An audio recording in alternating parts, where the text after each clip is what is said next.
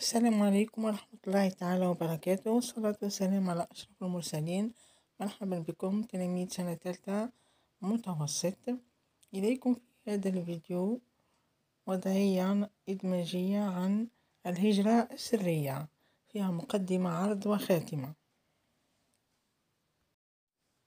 المقدمة الهجرة السرية هي ظاهرة خطيرة تهدد مجتمع الدول النامية ودول العالم الثالث. يقوم بها بعض الشباب للهروب من الفقر والحرمان والبحث عن فرص أفضل في الحياة.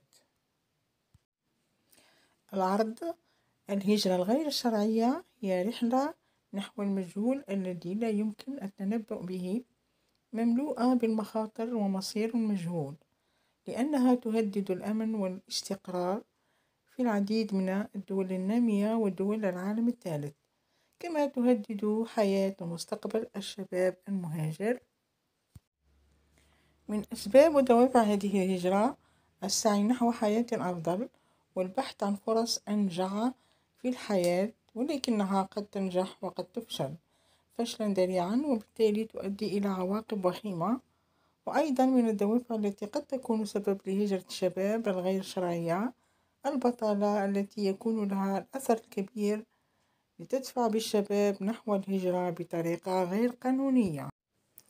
هناك أيضا عوامل جاذبة للشباب في تلك الدول التي يهاجرون إليها لأنها توفر الفرص الكبيرة وأعمال متعددة ودخل مرتفع وحياة كريمة ومسكن جديد وتوفر المرافق والخدمات العامة المتقدمة ووجود تقدم تكنولوجي وعلمي كبير.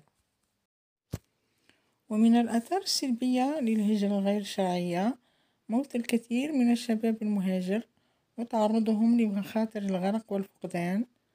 يخلفون يخلفون وراءهم هما كبيرا وحزنا وأسى في قلوب الأهل والأقارب.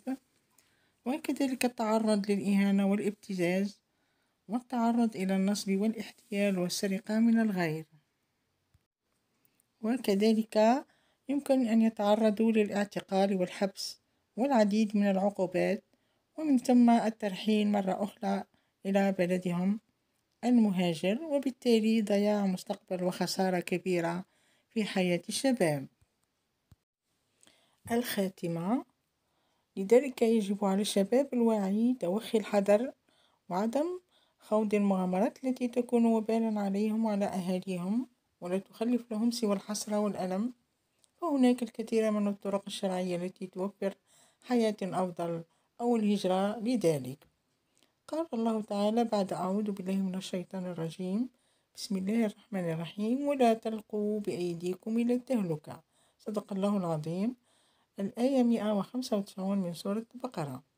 تلاميذي الأعزاء أتمنى لكم النجاح والتوفيق. لا تنسوا الصلاة على الرسول الكريم صلى الله عليه وسلم. وإلى موضوع آخر أقول لكم السلام عليكم ورحمة الله تعالى وبركاته.